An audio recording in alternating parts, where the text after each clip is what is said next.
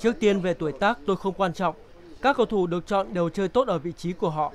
Các cầu thủ trẻ dù chỉ mới 19 tuổi nhưng về nhân cách hoặc trình độ chơi bóng đến hiện tại so với các anh lớn rất đồng đều, không có sự chênh lệch.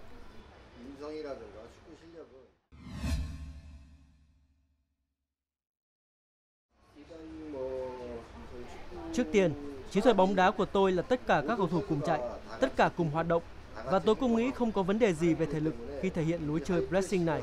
Bởi vì khi chúng tôi pressing đối phương, khi lấy được bóng, chúng tôi có thể tạo cơ hội để ghi bàn ngay. Trận đấu với Thái Lan là điển hình khi chúng tôi pressing họ ngay từ đầu và Tuấn Tài đã ghi bàn thắng sớm. Chúng tôi nghĩ áp sát đối phương gây áp lực và ghi bàn là lối chơi có hiệu quả.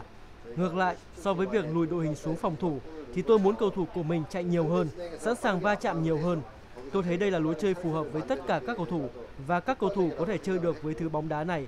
Thứ bóng đá mà tôi mong muốn là hai hậu vệ biên rất quan trọng. Tôi muốn họ dâng cao tấn công và như các bạn đã thấy, Tuấn Tài và Tiến Long cũng đã ghi bàn và kiến tạo. Tôi nghĩ các cầu thủ đã làm rất tốt thứ bóng đá mà tôi muốn mang đến.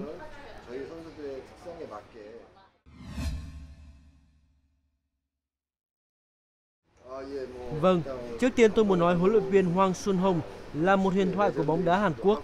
Chúng tôi cũng đã thi đấu cùng thời với nhau. Khi trận đấu kết thúc, tôi có đến chào và huấn luyện viên Hoàng cũng đã dành những lời chào, lời khen cho trận đấu hôm đó. Huấn luyện viên Hoàng chia sẻ rằng các cầu thủ của tôi đã trở nên giỏi và tốt hơn. Tôi nghĩ tôi đã nhận được sự tôn trọng qua những lời chia sẻ đó.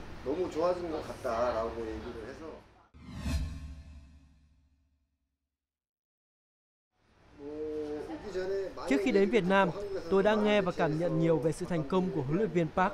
Cá nhân tôi cũng tìm hiểu rất nhiều khi còn ở Hàn Quốc. Tôi cũng có vài trận đối đầu với tư cách là đối thủ trong quá khứ, nên tôi càng hiểu rất rõ. Đương nhiên không thể nói là không có áp lực, không chỉ ở đây mà ở bất kỳ đội bóng nào khác. Phải biết áp lực của mình là gì để từ đó nỗ lực hơn. Nên tôi nghĩ một cách thoải mái, không sao. Những áp lực đó là một sự quan tâm đặc biệt dành cho tôi.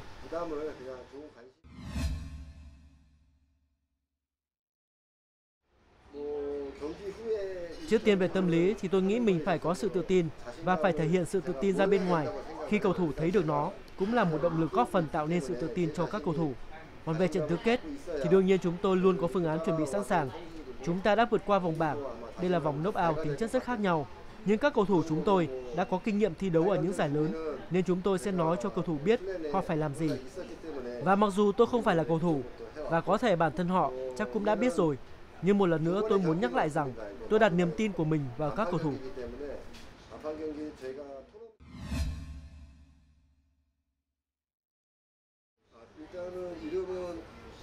Trước tiên thì tôi đã thuộc hết tên của các cầu thủ rồi.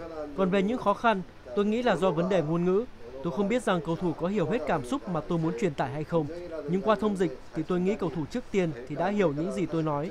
Còn về tấm lòng, sự chân thành của tôi thì không biết liệu cầu thủ có hiểu được hết hay không. Chúng tôi khác biệt về ngôn ngữ, nhưng mỗi ngày chúng tôi nói với nhau những câu ngắn, đơn giản, cùng nhau cười. Tôi nghĩ các cầu thủ đã mở lòng với tôi nhiều hơn.